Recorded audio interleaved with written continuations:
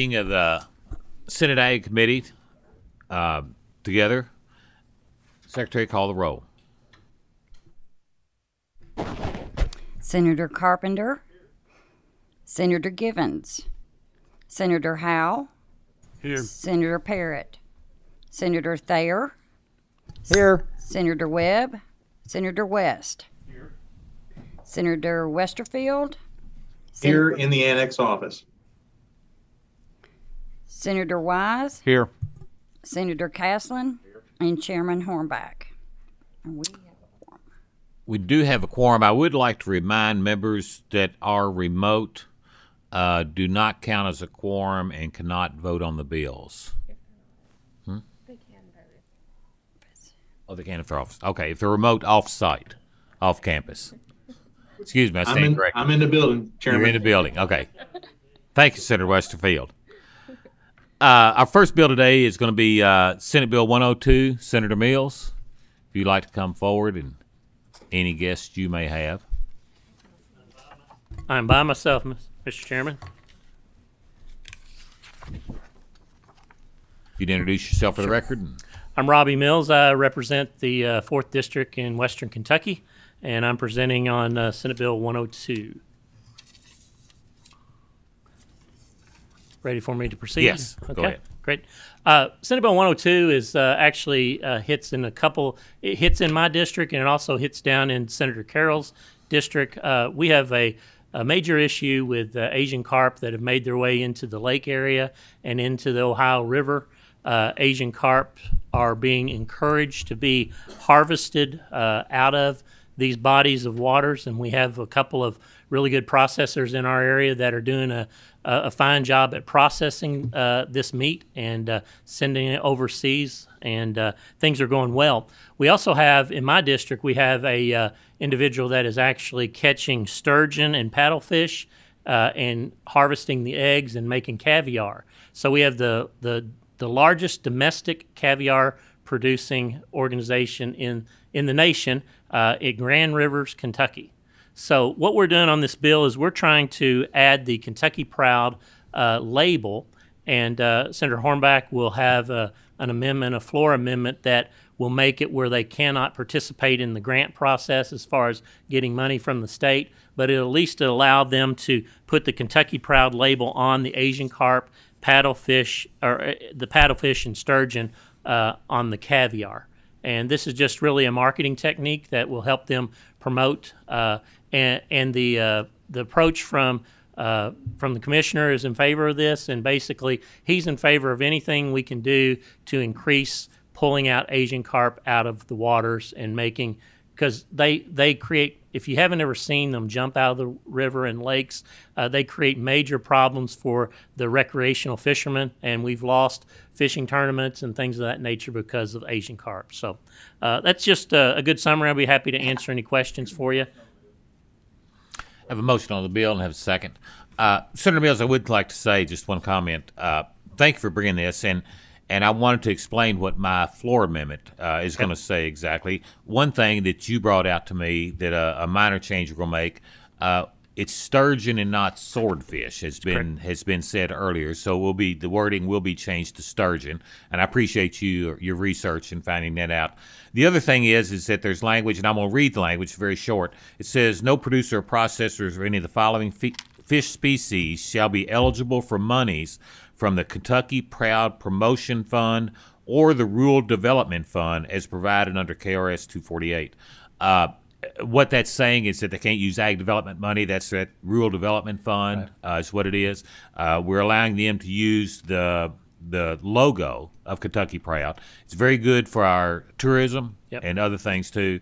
Uh, and and we do always promote economic development. I think it'll help them, but we want to be very careful that uh, the monies that are there are used for animals that are raised on farms and not wild game.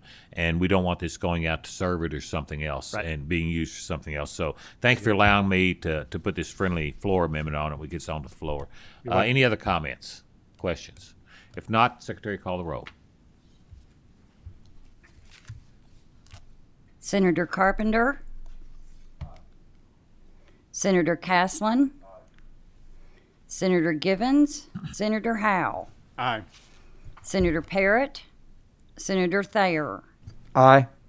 Senator Webb, Senator West, Aye. Senator Westerfield, Aye. Senator Wise, Aye. and Chairman Hornback. Aye. Motion Passes with Motion passes. Um, do you have any motion for consent? Motion for consent if it's in order and the sponsor agrees. I agree. Have a motion for consent and a second. All in favor say aye. Aye. All Aye. opposed, like sign. Senator, you did a good job. Your motion, your bill's on consent. Oh, actually, we can't do consent because you're a do yeah. Oh, that's right. We can't do. Excuse me. I made a mistake, Mr. Floor Leader. We can't do consent because I'm doing the floor amendment, so I have to come off consent. So I'll take that back. Sorry The, about that. the, the floor amendment will automatically take the bill off consent. Okay, thank you. Sorry. Thank you, Senator Mills. Senator Southworth, I think you have Senate Bill 82. If you'd like to come forward and bring any guests that you may have. Uh, I will not. I will let everybody know that there are uh, considerable people that have asked about speaking on this, and so I will be limiting the amount of time uh, that each can speak. Uh, we've got uh, some in favor and some that are opposed, so I'll be limiting your time to about 20 minutes, uh, 10 minutes for each side. Thank you, Mr. Chairman. Representative Southworth, you want to introduce yourself and your guest? I'm and Adrian. proceed. Adrian Southworth, uh, representing the. speaker's not on. Well, it is on, but it just sounds like it's not on. So let's go a little better here. We'll lean in. Um, I'm Adrian Southworth, representing the 7th Senate District. And um, this is one of my guests in person today, Edwin Nybert. He's from the Sportsman's League. Yes, thank you for the official words. And um, we also have on Zoom joining us today Doug Morgan. Doug will wave at us here. I'll let him speak as soon as um, Edwin finishes. And we will um, proceed if you're ready, Mr. Chairman. I'm ready. Okay. Um, I do want to bring um, to the attention if you do you want to take action on the committee sub first? Motion on the sub. Do I have a second? All in favor of adopting sub, signify by saying aye. All opposed, like sign. The sub's in order. Thank you, Mr. Chairman. The sub is very important to this bill because all of the groups that have um, come together on this are all in support of the sub, and we all uh, did not particularly favor the original bill that was three pages, which is now just longer than three lines. This was not the first bill I plan to file, though. However, it represents everything that I stand for small government, constitutional rights, privacy, respect for life, liberty, and property. Now, the lion's share of our members belong to the Kentucky Sportsman's Caucus, and of course, the Sportsman's president, who's my constituent, is here to speak on the bill. But a lot of the groups, in fact, all the dog groups, with the exception of the PETA affiliates, are all supporting this committee sub. We have the Houndsman's group, we have the American Kennel Club, Best Friends Animal Society, American Dog Breeders Association. That includes everyone with pet trainers. I have everything from that to the CDC, the Humane Society. Even the American Bar Association recognizes the need for this legislation. As I have talked to local government associations, one thing is clear local government lobbies for local government. And I understand their predicament. Even the League of Cities understands the need to eliminate these ordinances, but they can't go against the local governments they represent to do what's right in a broader sense. But as state policymakers, we have to consider the public interest at large, which I believe is small government. Let me make a very clear distinction. Small government is not necessarily local. We protect people's gun rights by prohibiting local governments from making restrictions on our constitutional rights. When local government wanted to clamp down on emissions from our F 150s, there was outcry. Why? Small government is not the same thing as local government. What struck me about this issue most was the court case in Iowa where a retired police officer who was paralyzed had a service dog who was a pit bull. The city got wind of it, removed the pit bull from the home, kenneled him outside of city limits, and the court overturned the ordinance saying it was a violation of the ADA. Think about this in the context of the Constitution. The Fourth Amendment protects us from unreasonable search and seizure. Does taking a dog on a walk or to a grooming appointment constitute plain view for the purposes of violating the privacy of someone's home or property? Are the city police allowed to snoop into the yard when the dog is let out to play? How are we to enforce these ordinances if we don't do harm at the same time to constitutional rights? In your folders, let me know if you're up to the challenge to determine which one of all the dogs in the pictures is a pit bull. Now, I am the first person to point out every local area in this state is so different. But some things are universal. What happens to the dog after it's seized? One likelihood is the dog is actually killed. We have service dogs here in Kentucky who are pit bulls. What happens even if they don't live in a city where this ordinance is? Their mother falls, needs help, they need to move in with her. She lives in a city that has this ordinance. If that mother city bans pit bulls, the service dog is now profiled, discriminated against, and dog CPS gets put on him. That is not the hallmark of a free society. Nor is it respectful of our constitutional rights of life, liberty, and property.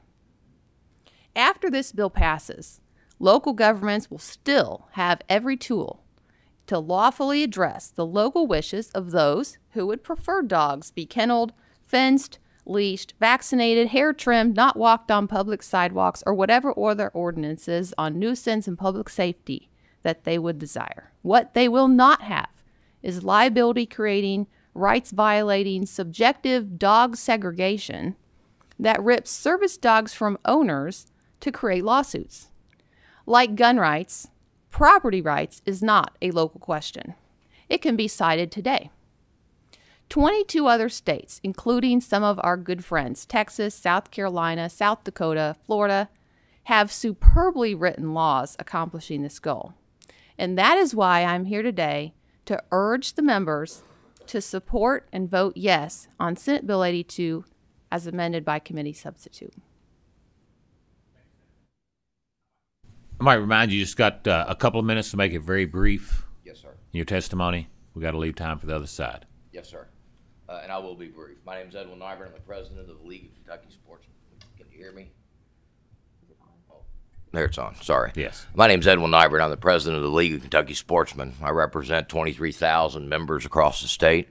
Uh, in our nine federations, our, our board of directors did meet on this bill and unanimously voted in support of it. We feel it's a property rights issue. And as I was researching the bill after talking with Senator Southworth, it, it amazed me to find out that the number one dog bite in the United States of America actually belongs to a sporting breed, the Cocker Spaniel. If we allow uh, breeds to be segregated against, discriminated against, just based solely on their viciousness, Cocker Spaniel lovers are going to be really mad at us.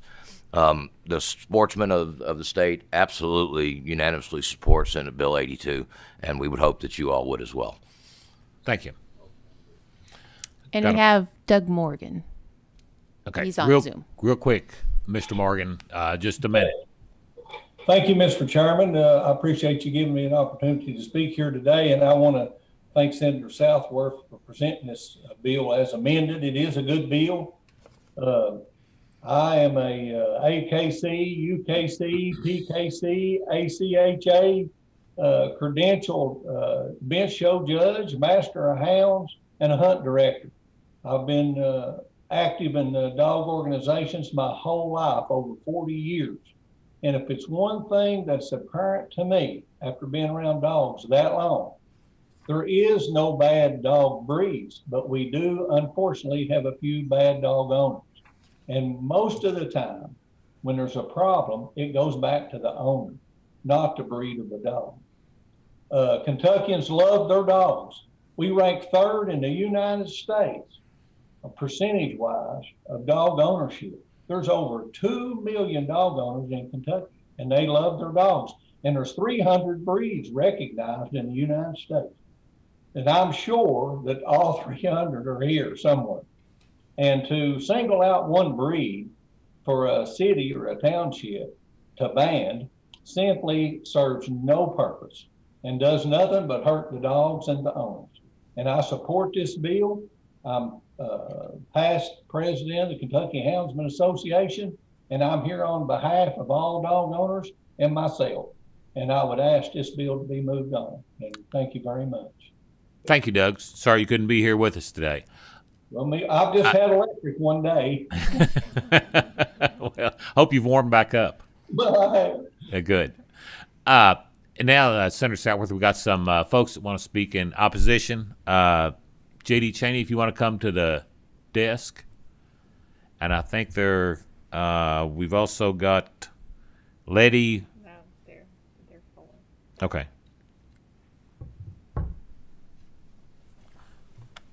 These are all four. Okay.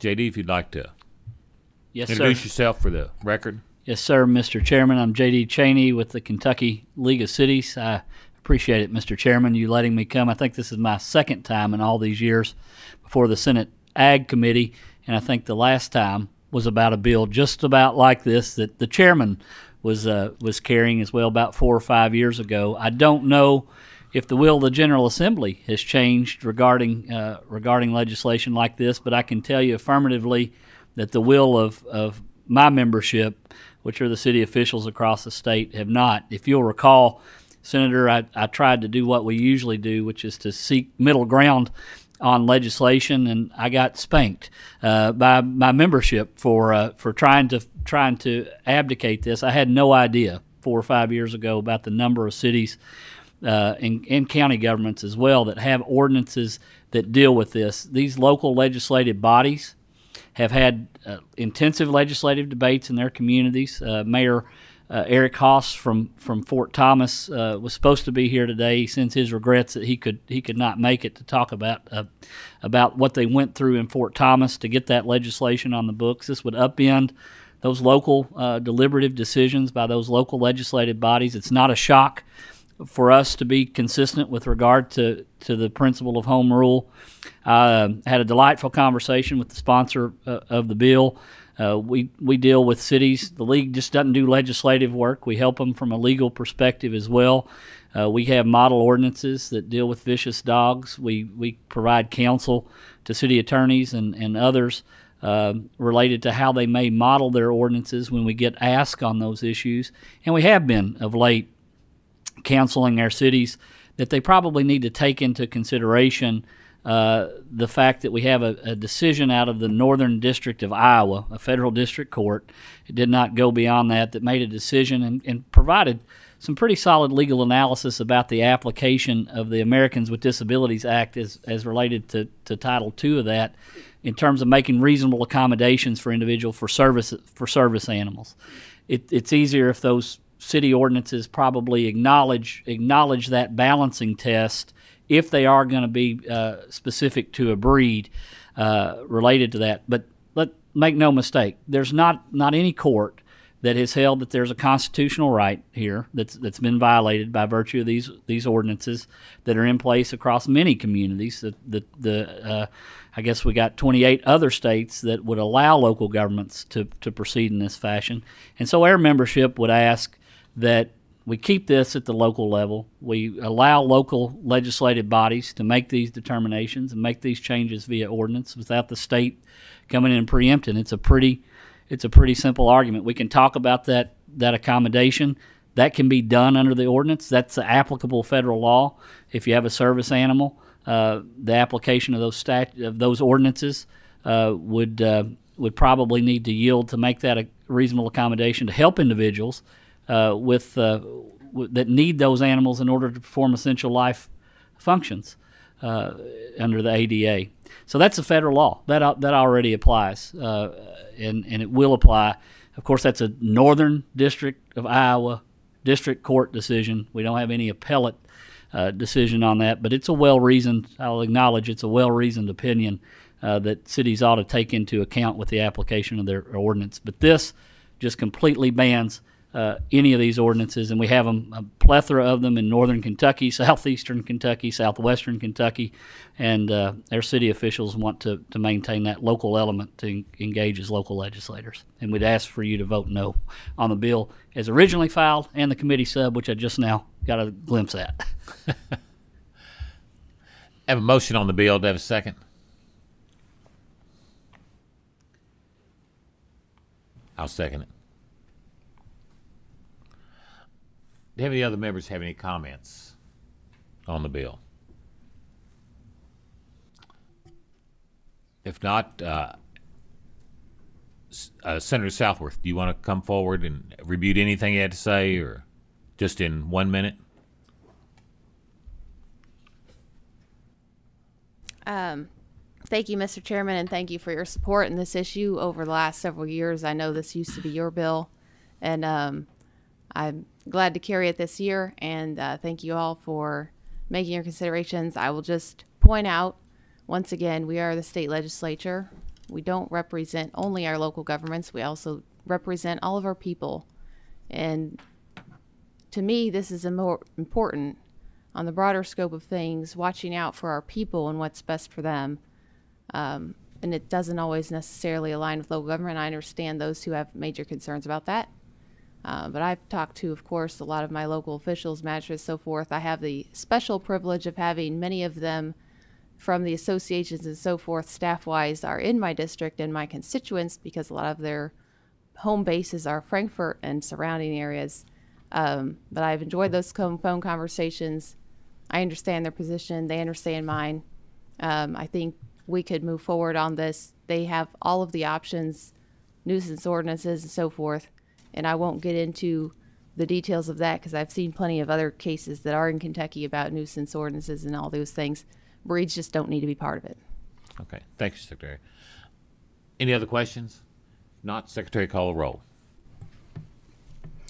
Senator Carpenter, Can I explain my vote, Mr. Yes, Chairman? please. Uh, I appreciate Senator Southworth bringing it forward. Uh, my little girl, ten, is a dog lover. She she has three in the house. So, uh, and she says all dog about like my good friend Doug Morgan. There, she says all dogs are good, just bad people is what she tells me. But I understand that we, we always want local control until we don't want local control. That's that seems like how it's how government works anymore. We always are asking for it until we don't want it, and then we see that it's not the need. So uh, I appreciate the bill. I'm going to vote no today because I, I've had so many of my constituents that represents local governments call and say, "Hey, Jared, we we do, we do not want this. We want to be able to control our decision at the local level from my judge executive." Who's been a friend for years to my mayor to to the to the city attorneys, um, I understand the need for the bill. I understand the reasoning for it. Uh, I understand why we've brought it forward, and the chairman's done this before. And it's kind of funny that a, a bill like this kind of gets controversial at times. Uh, we wouldn't really expect a bill about dogs, as, as Senator Southworth and I have talked before, uh, to be so controversial and such a hot topic. But it is. People love animals. I've got a bunch of rental property, and if I didn't allow pets, uh, I have to set a, a limit on what size of pets they could be, or they'd be 300 pound uh, uh, dogs in the, my apartments.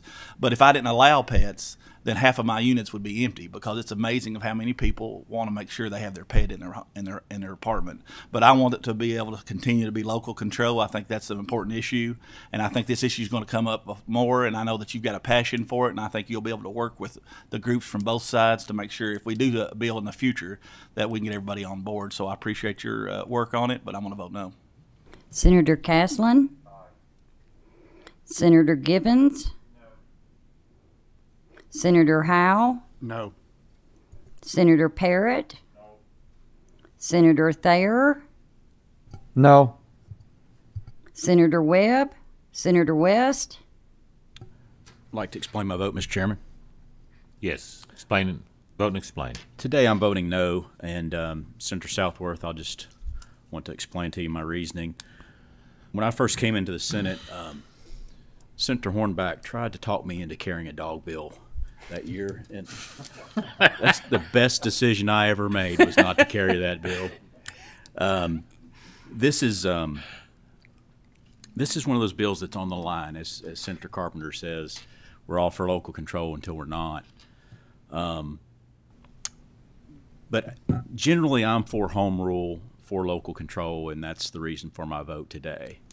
Uh, some of the questions you raised, if we do get to that level, if we see that local governments are clamping down on service animals and not allowing those things, um, as Senator Schickel would say, we'll be back here in nine months or eight months, whatever. So um, I'm voting no today, but keeping my eye open for those problems as they arise, and we can address. I think we can address those if they come forward.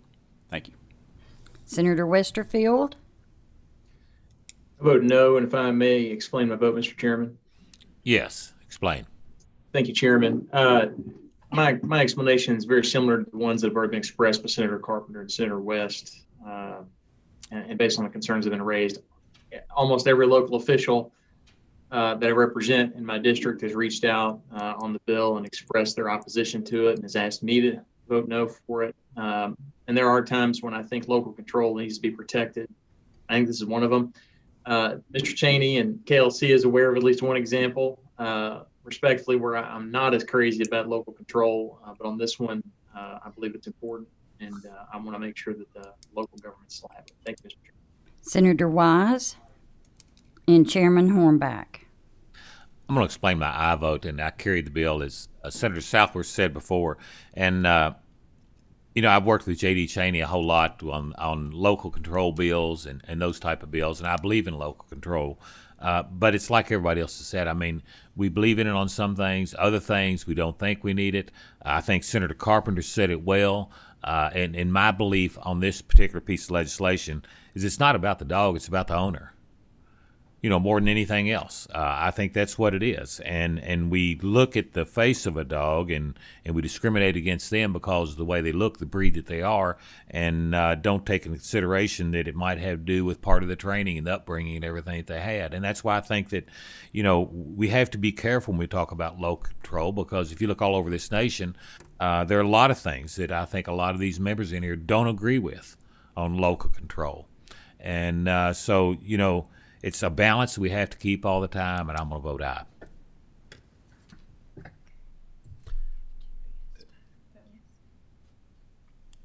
Three, I voted for